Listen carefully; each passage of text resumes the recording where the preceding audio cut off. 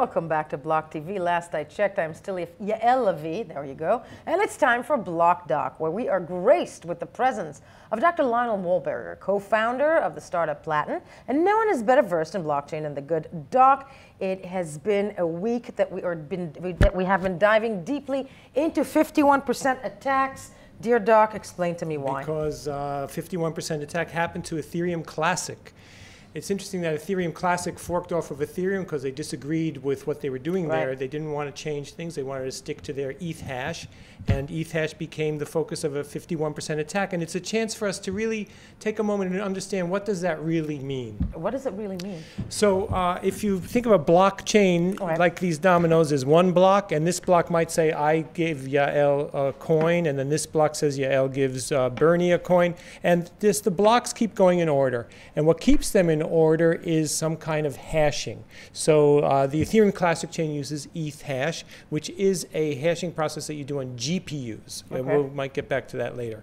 So uh, a 51% attack means that somebody's changing the order of the blocks. And what, how is that helpful if you change the order of the blocks? So like if you ever go into a nightclub, you know, you pay, mm -hmm. and then mm-hmm. when you pay, they give you the Right. Either that or the stamp. Yeah. Right. So the order is kind of important. You pay and then you and get then the stamp. Get, yeah. Let's say here you pay, here you get the stamp. Now, if I could change the order, what if I do this and then just take this one out?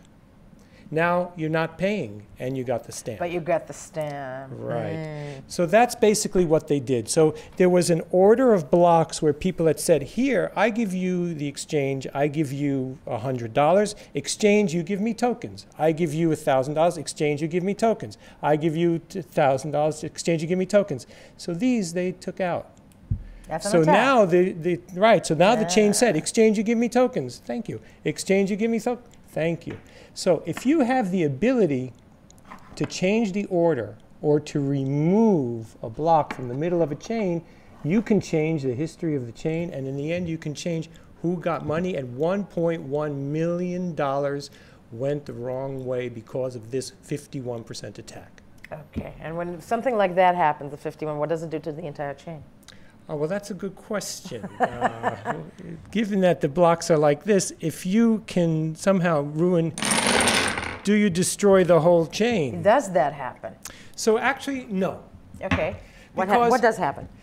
If, if you go to the extent of destroying the entire chain, then you've actually destroyed the money that you want. See, now nobody can read the chain. Right. Right? And what I want to do is do enough damage, a little bit of damage so that I can get some money. And by the way, this million dollars is 1% of the total money flowing on that chain. So if you think about that, it's, it's some money, but it's not a lot. So the point is that uh, an attacker depends on the overall health of the chain. So he doesn't want to destroy the entire chain. He just wants to reorder things. And in this case, he was able to do that because the proof of work was not that hard. How hard is it? Oh, okay. The proof of work wasn't that hard, but how hard is it to, to do this, to attack a chain? Right. So uh, different chains have different methods of right. putting these blocks in order. And it generally relies on a hash. And I think we, uh, we gave the um, control room an example of hashing. I'd like okay. to do a Let's close take, look What does that. hashing mean? So uh, the, on the blockchain, it's very technical what's written there, but we can simplify it and just say uh, uh, Yael gives the block doc one coin. So are yeah. we seeing that? Okay. I think so. Well, so um, when you make a hash of that, you actually uh, encode it into um, some kind of other letters and numbers. Now, if you want to change the order, you have to figure out that new encoding, that new hashing. And depending on the protocol, that can be very difficult. On ETH, on Ethereum Classic, they're using Ethash and uh, GPUs, which you can buy a lot of GPUs and you can um, do the attack. If they were on Ethereum, they would be using ASICs, and there it's much harder to do. It's much harder to do, but, but it's much harder to do. But asking that, you know, looking at that, can anybody do this? Can any computer do this? Can anybody basically say, okay, I'm going on an attack. I'm about to, you know. So that's it's it's it's a great question because the if, if I decide that tomorrow, for example, if you decided okay? tomorrow yeah. and you could just roll up to the local electronics store, I was about to say, and fill up your cart with GPUs, then you'd have a chance of cracking any GPU-based system. But Bitcoin, to some controversy, doesn't use GPUs. It uses ASICs, and this is where things get pretty interesting, Yael. Uh, when Bitcoin has never been under an attack, right?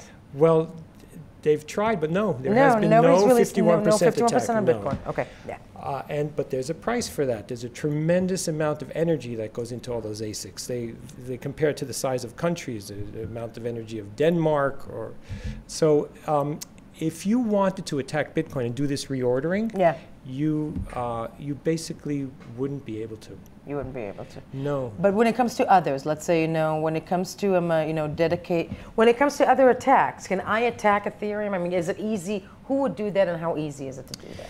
So Ethereum is uh, is based on Ethash, and a GPU attack could get them. And the GPU-based attacks, we all need to be concerned about them in the blockchain world because any blockchain that works on GPUs, like if you were a concentrated attacker, you could work today on one, and because you have all these GPUs, tomorrow you could focus on another and attack that one.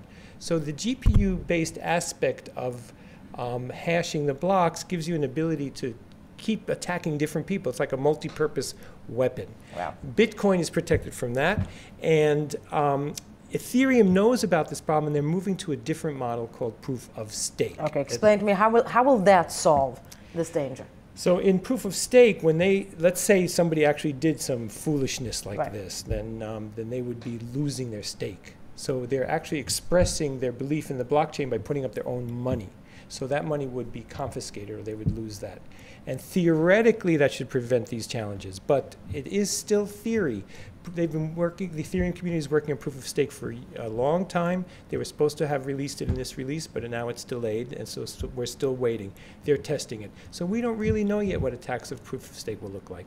I want to go back though to the ability to attack um, uh, computers, and you know, to get that ability to get to 51. That's a lot of energy. It's almost like a, as as much as is needed to mine, whatnot. A lot of energy is needed. Correct. Tremendous amounts of energy. And the, the amount of energy today in the Bitcoin network, to, to, to, to the criticism of it, is it's an enormous amount of energy. And You know, there are people, you know, there, there was this whole mass calculated, one can argue, I'm saying, that campaign in mainstream media a few months ago about how, you know, Bitcoin will destroy the energy, you know, green energy, will destroy the, you know, the planet, which is not the case, right? Although it does require a lot of energy. Yeah, and I think as, as a society, we need to decide what's worth expending energy and what's not. I mean, if you can look at racing, for example, it takes a tremendous amount of energy. It, there's a billion dollars a year go into uh, Formula One racing, and that's just one uh, racing event. And those cars use in one two hour race, uh, the whole race uses as much as an ordinary car uses in a year. So uh, I think as a society, we have a limited amount of energy. We need to make decisions. And not only that, I mean, uh, I'm sorry for raising it and, and, and pivoting to the side, but also if we all move to green energy, won't that solve everything? Yeah, and you know, Bitcoin drives that.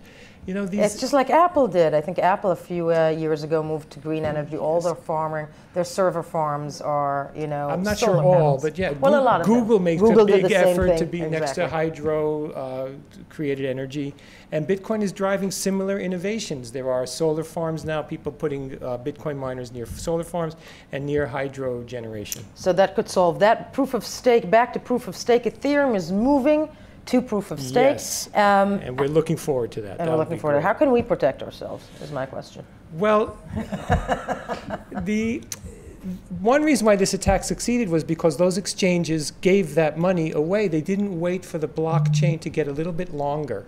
The longer the chain, the more difficult it is to fake it. Patience again. Patience would As have everything helped. in life. Okay. So they waited 100 blocks, but in that chain, each block takes 15 seconds. So that was not a whole lot of time. right. Now, one reason why people are excited about cryptocurrency is because it removes the friction around it. And uh, oh, by the way, I see now, is that up on the screen to our viewers? Yes. So I wrote here on the blockchain, Yael Lavie transfers to BlockDoc the following coins. One, two. Now you'll notice when I change one number, Right. the, the gobbledygook at the bottom changes tremendously. you see? So Yeah, that, yeah, that's what a hash looks like. And Uh, you can do this online. This is an online tool. You can play with it yourself. This is the cryptographic magic at the heart of blockchain. That a sentence, if I change one character, if I change the one to a two, look what happens. 6E blah blah blah ending in one becomes CC ending in Entirely different. All of the letters change. So this is called a one-way function, and this is SHA-256, which is what is uh, the heart of Bitcoin. The attack that happened here was a different hashing function that's not quite as secure. Not quite as secure. So it's kind of worth the fight. It's worth the more effort you put in. So the question you ask, is it worth the effort? Is it, is it worth it to all of us to put Yeah. the energy of Denmark into this system? Is That's it? a question for us to decide. I think the jury's out. I think that Bitcoin is new and young, so right now it might be wasteful, but it will improve with time. Automobiles were incredibly wasteful of, of energy when they were first born, and they're getting uh, more and more efficient. In fact, I mentioned racing. In Right. racing, the uh, Formula One teams are they have been criticized for using all that energy, and now they are 45% efficient. So a car like you're seeing on the screen now uses about 100 uh, kilograms for a race of, of fuel. Right. It used to get it used to transfer only about a fifth of that into motion, and now can transfer almost half.